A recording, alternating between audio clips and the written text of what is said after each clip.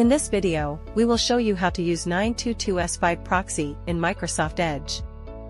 First, we open the 922S5 proxy client and go to the port proxy page. Click on Filters to select the country, city, and other information for the IP you want to extract.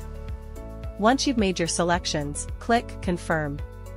Next, choose an IP from the proxy list, right-click on it, and forward it to a free port. Click on the port forward list below, find the extracted IP, and click the copy button on the right.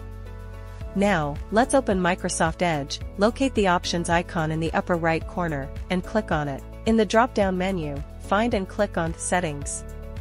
Next, in the left sidebar, find and click on System and Performance, then click on the Open Your Computer's Proxy Settings option that appears on the right.